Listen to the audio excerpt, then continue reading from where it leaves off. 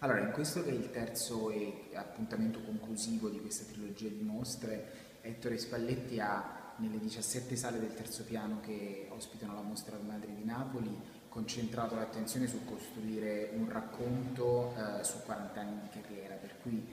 ci sono tantissime opere ehm, che costituiscono dei passaggi fondamentali all'interno della sua carriera, quindi eh, a partire da foglie, presenza stanza, contatto, colonne di colore, mobili, quindi una, una forte concentrazione di opere storiche e, e che segnano dei passaggi fondamentali nella sua carriera, messe in dialogo con invece opere dei decenni successivi fino ad arrivare a oggi, fino ad arrivare anche a eh, un'installazione pensata per gli spazi del madre, quindi c'è questa proprio idea della, dire, di legare diversi aspetti del tempo ma anche di annullarne dire, la cronologia come, come linearità. Eh, Ettore ha lavorato moltissimo sulla luce, per esempio del, sulla luce, quindi aprendo eh, moltissime finestre che erano eh, rimaste chiuse nel tempo e quindi creando, come dire, interpretando l'architettura di Alvaro Sizza che lui ha amato moltissimo eh, come una membrana tra l'interno e l'esterno. In questo quindi, come dire, lui che è proprio un, un artista che lavora sul, sul, concetto della luce, sulla relazione col paesaggio, eh, ha accolto come dire, il paesaggio circostante, quindi la luce di Napoli, il cielo, l'azzurro di questo cielo e lo, ha, e lo, ha, messo in relazione con le sue opere, quindi ha costruito un, un percorso molto sensibile, fatto anche come dire, di vuoti molto, molto significativi che si alternano invece per esempio con dei passaggi più densi, cromaticamente e percettivamente più densi. Un anno straordinario in cui eh, ho avuto la possibilità di confermare a me stesso la straordinarietà della scena culturale, artistica, eh, la vitalità delle intuizioni, delle emozioni, delle idee, delle forme, dei colori, delle musiche, dei racconti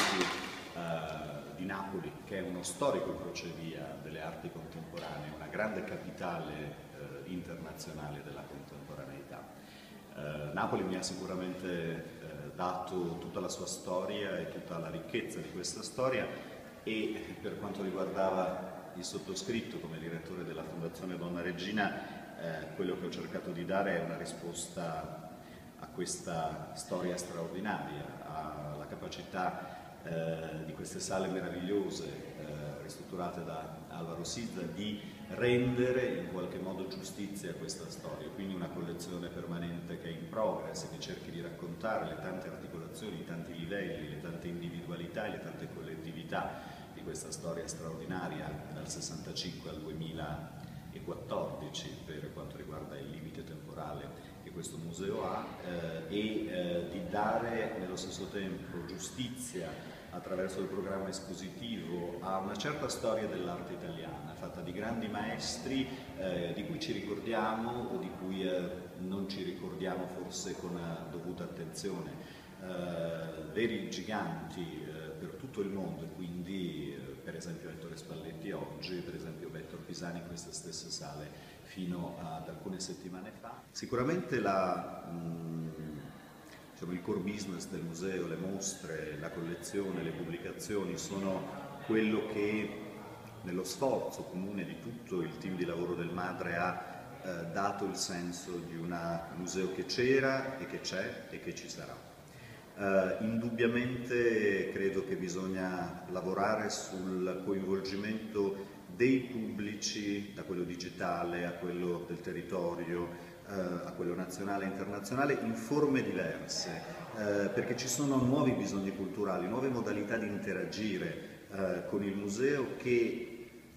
una volta che ha dire, messo a punto quello che sa fare, secondo me deve iniziare a fare anche quello che potrebbe fare e quindi lavorare in modo più ipotetico, più performativo, ehm, introiettare, mettere al suo interno la grande vitalità di tutte quelle articolazioni delle arti e quindi dei pubblici eh, che in questa città si sono depositate e nello stesso tempo intercettare nuovi bisogni, nuove storie, nuove narrazioni, quindi lavorare realmente ancora più a fondo di quanto abbiamo potuto fare in quest'anno a performare il museo, che è un po' la parola d'ordine che ci siamo dati, cioè a renderlo, non è un caso forse che proprio interrogandoci su questo, per esempio una delle cose che vorremmo fare è eh, produrre una soap opera per il museo, una, una, uh, una narrazione come dire,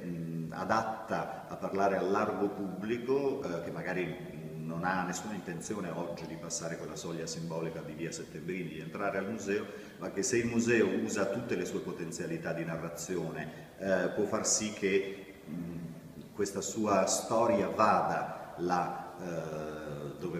tendenzialmente non potrebbe arrivare. Io sono convinto che stiamo vivendo per l'istituzione un momento in cui probabilmente è il caso di riversare il, il ready-made di Duchamp, invece che prendere l'orinatoio e mettere nel museo eh, questo oggetto provocatorio, forse la provocazione culturale del museo deve andare fuori da se stesso, nelle strade, nelle case, nelle televisioni, nelle radio, cioè usare eh, l'intelligenza, la fantasia del museo, uscire da se stesso con questa ricchezza e intercettare eh, tutti quei bisogni, tutti quei desideri, perché eh, Mad Men è un programma bellissimo, eh, Breaking Bad è un programma bellissimo e allora forse noi dobbiamo imparare perché hanno successo queste grandi narrazioni contemporanee, fare un po' lo stesso, cercare di andare fuori con il nostro palinsesto televisivo, con i nostri personaggi, con le nostre storie e intercettare tutte quei, eh, quelle storie, tutti quei pubblici che sono fuori. Su questo io credo che per, per formare realmente il museo dobbiamo iniziare ad impegnarci da oggi